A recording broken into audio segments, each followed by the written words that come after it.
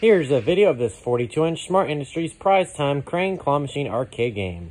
This is the second Prize Time Crane.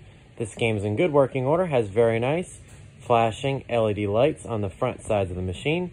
It's currently set to 50 cents to play, or two tokens. Uh, it has two coin quarter acceptors. A bill validator acceptor can be installed there.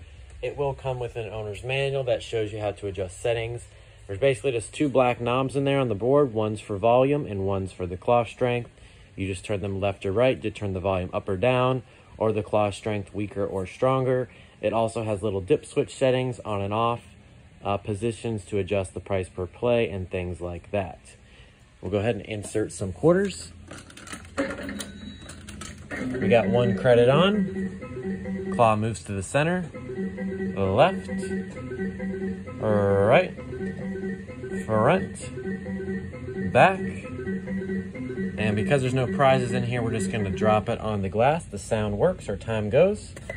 We'll drop the claw, claw goes down, closes, goes back up, returns to home, and opens. Nice working game. Overall, the cabinet is in really good condition.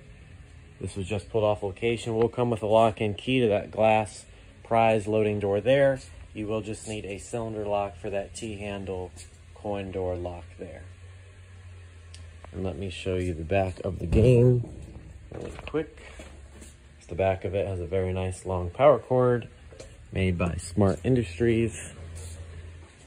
Overall, thank you for watching.